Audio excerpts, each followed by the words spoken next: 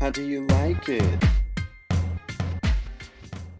Hey Guardians, Goshuki here. It is January 30th, 2018. It's a new week in Destiny 2, and we just had a new update drop, so make sure you get that installed. Um, but I just wanted to hop on in and take a look at the activities we'll be doing for the week.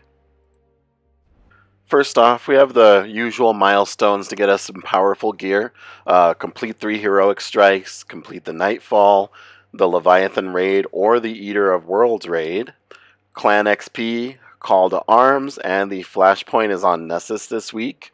We also see the return of Iron Banner in Destiny 2 this week, so hop on in there and collect your new loot. We got new weapons, we got new ornaments, all kinds of new stuff to check out, and hopefully it's worth the grind. Our nightfall for the week is Savathun's Song again. I feel like it was that last week or the week before, um, but this week we have Momentum.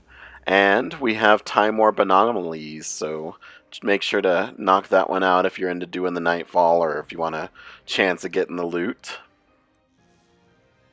Back on the tower, make sure you head on over to Cayde to get your treasure maps and Ikora who has your meditations for the week.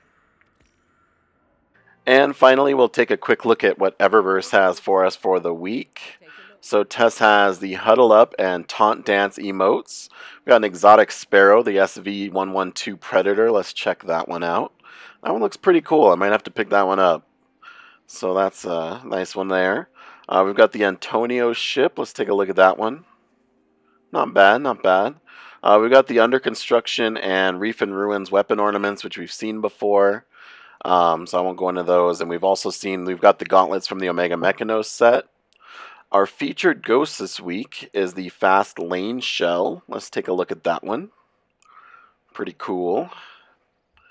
And uh, we've got the Solar Effects Transmat Effect, Arctic Pearl Shader, Monochromatic Shader, and then we have our usual, usual boons and um, Fire Team Medallion. So that's going to be all for the week. Hop on in if you're still playing Destiny 2. Hopefully the updates fix a lot of the issues or at least get us started on some fixes. Um, won't get into that now, but thanks for watching. Drop a like, comment, subscribe. I greatly appreciate it and have a great day.